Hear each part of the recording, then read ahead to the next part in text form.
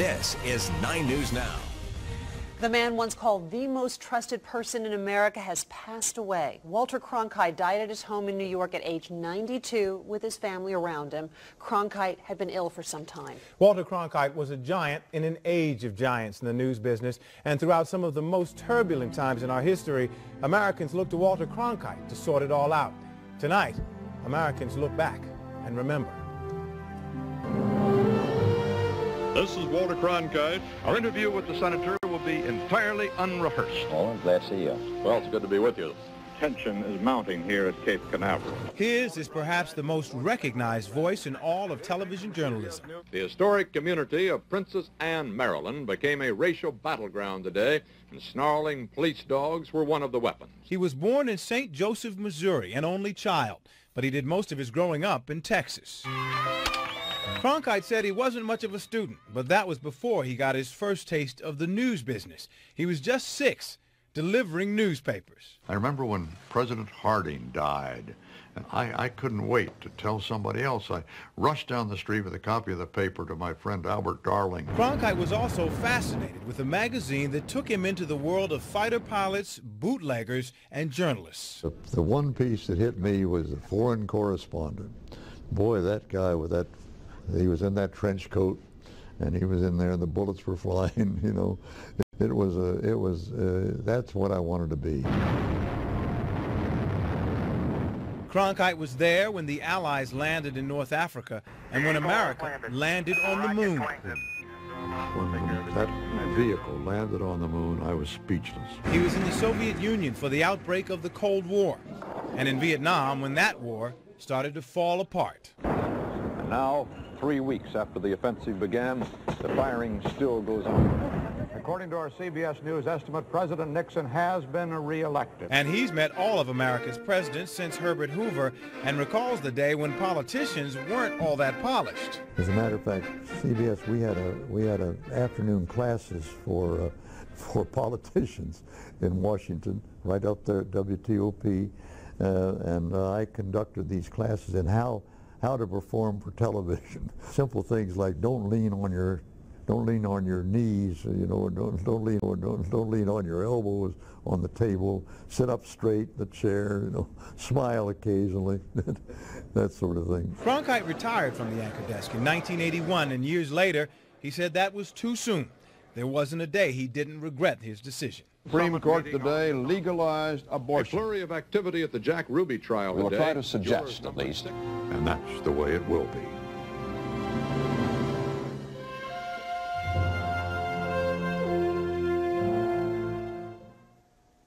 One of Cronkite's most memorable interviews was with John F. Kennedy when Kennedy was a candidate for president. Here he reflects on the interview and its meaning.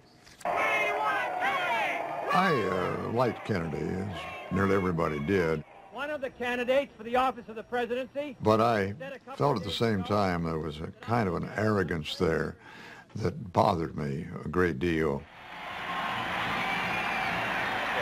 In that 1960 election, I wanted to do separate broadcasts interviewing Kennedy and Nixon. With a record of Richard Milhous Nixon. Nixon went first. We cannot uh, have peace at any price. Well, the following Sunday, we did Kennedy. Our interview with the senator will be entirely unrehearsed.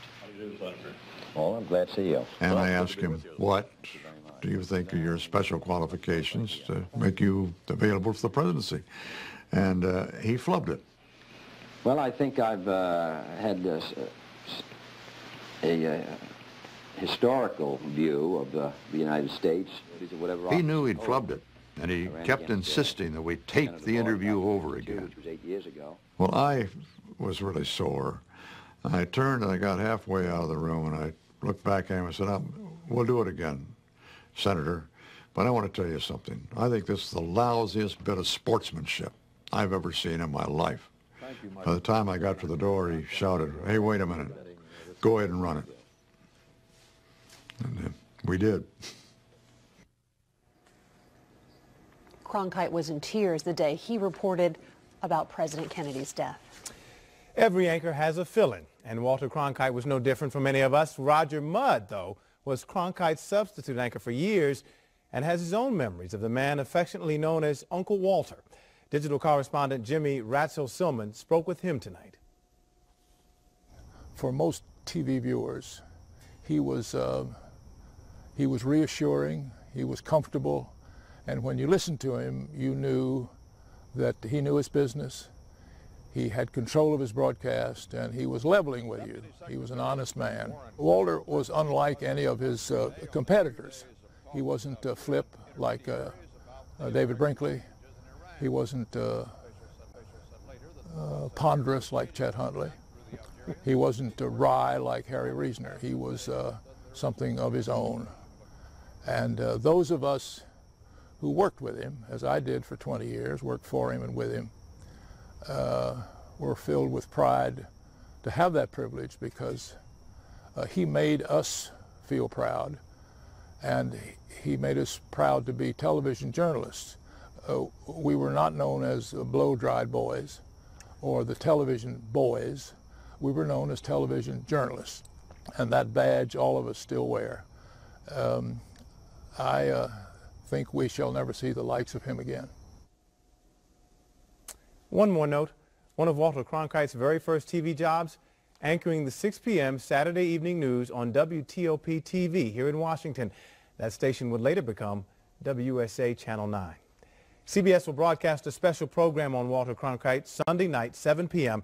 And we'll have more on Walter Cronkite's passing in just eight minutes. Anita's got a one-on-one -on -one with CBS News anchor Katie Couric and her memories of the iconic anchorman. From Dallas, Texas, the flash, apparently official, President Kennedy died at 1 p.m. Central Standard Time, 2 o'clock Eastern Standard Time, some 38 minutes ago.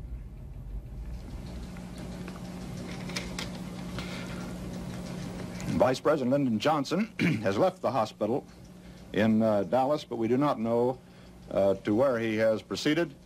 Uh, presumably, he will be taking the oath of office shortly and become uh, the 36th President of the United States.